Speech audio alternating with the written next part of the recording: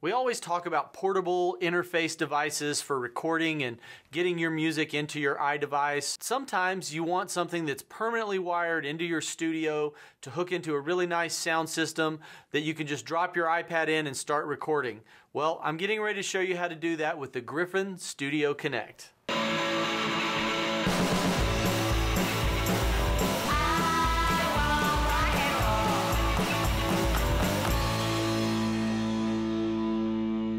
The Griffin Studio Connect retails for 149. You can find it for around 100 online, but it actually features a really nice, simple form factor that allows you to have MIDI in and out for your iPad or iDevice, audio in and out. It has a stereo headphone jack with a volume control, and it lets your iPad and its apps function as a true MIDI controller. What's also nice is it functions as a 10 watt charging dock for the iPad.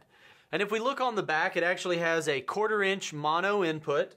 It has a 3.5 millimeter stereo input, MIDI in and out, and one of my favorite features, it has a dedicated um, RCA line output, so you can hook the device to your home stereo. All right, now we're going to record a guitar track on the Studio Connect. Um, I've got my guitar cable plugged into the quarter inch input on the back. Um, I do a little sample so I can set my audio levels. And now let's record.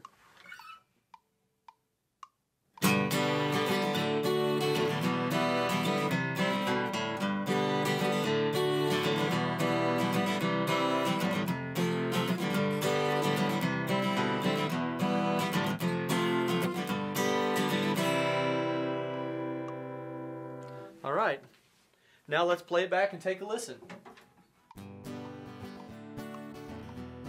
So that's the Studio Connect from Griffin. It retails for 149, but you can find them on the street for around $100. It is a really cool, efficient way to integrate your iDevice into your home recording studio or even into your home stereo. I'm Philip Nelson for GeekBeat TV. If you like this review, give us a thumbs up on YouTube. And if, you, if there's products you'd like to see me review, make sure you send me a tweet at Philip Nelson with one L.